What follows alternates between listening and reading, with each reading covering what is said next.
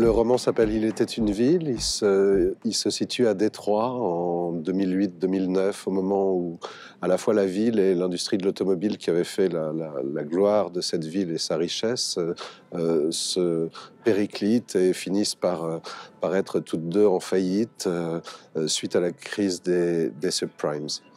Et je suis là-bas plusieurs personnages. Notamment un personnage d'ingénieur euh, français expatrié qui travaille dans l'automobile, qui était un peu ma porte d'entrée vers cette industrie que, que je connaissais mal, et puis euh, un, groupe de, un groupe de gamins, qui, de gamins des rues qui, qui, qui fuguent et qui découvrent dans ce détroit dévasté par la crise, et où, où, tout s'effondre, où les maisons sont en ruine, où les immeubles sont abandonnés, etc., qui trouvent refuge dans une ancienne école à l'abandon, au milieu d'une sorte de terrain vague, de, zone grise, euh, dans laquelle ils vont euh, vivre des aventures euh, à la David Copperfield ou, Tom Sawyer. Ce qui m'avait porté vers, ce, vers cette histoire et vers ce cadre, c'était en, en 2009 un très beau livre de photos euh, chez Steidel euh, euh, par deux Français, Marchand et Meffre, qui, qui s'intitulait Les ruines de Détroit, qui présentait des photos absolument magnifiques, très, enfin sans personnage, très architecturales, comme ça, de, la ville en ruine. On voyait des, des, anciens théâtres transformés en parking, des immeubles désaffectés, des usines à l'abandon. Et c'était D'abord, c'était fascinant parce que c'était fascinant de trouver que des ruines pouvait être belle. Et puis c'était stupéfiant parce que, à la différence des, vestiges de l'Antiquité, où ce sont les ruines d'une autre civilisation qu'on contemple, là, euh, c'était euh, nos propres ruines, en quelque sorte, qu'on nous demandait de regarder euh, avec un, sentiment esthétique, du coup, très, très trouble.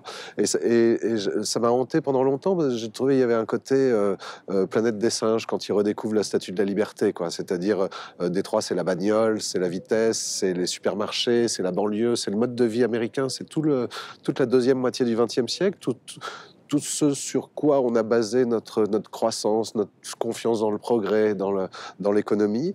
Dans et, euh, et, et, et, tout ça était en ruine comme, euh, comme si la civilisation s'était écroulée. C'était incroyable encore aujourd'hui, euh, encore aujourd'hui, Détroit ressemble euh, à une espèce de zone de guerre. On a l'impression que, que ça a été dévasté par une tempête ou, par des événements extérieurs. On ne peut pas croire que la ville se soit vidée d'elle-même. C'est très étonnant comme, comme endroit.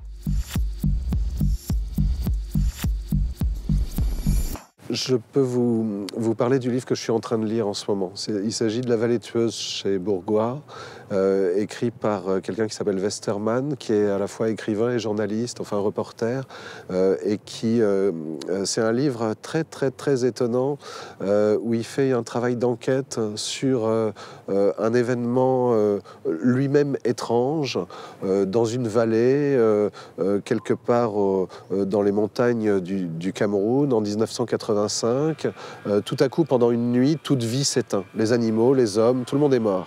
Et on n'a jamais su ce qui s'était passé. Alors les vulcanologues du monde entier euh, euh, font la course pour essayer d'avoir la, bonne hypothèse et de savoir. Hein. les missionnaires viennent au secours de la population en espérant faire des, des, fidèles. et, et, tous ces et donc on, assiste à la fois à une enquête, le bouquin se lit vraiment, il, se dévore comme un roman, et en même temps une enquête dont on comprend assez vite qu'on n'aura pas le fin mot de l'histoire, et que son but n'est pas là, son but est plus malin en quelque sorte, c'est euh, d'essayer de nous montrer comment un discours s'est créé sur ce mystère. Et un discours sur un mystère, et donc euh, une sorte de discours mythique mythologique, alors à la fois le discours scientifique, le discours religieux, le discours politique, comment tout ça s'est entrecroisé pour créer euh, une sorte de mythe euh, à cet endroit-là depuis 1985. C'est un livre très intelligent, très, qui et qu'on dévore.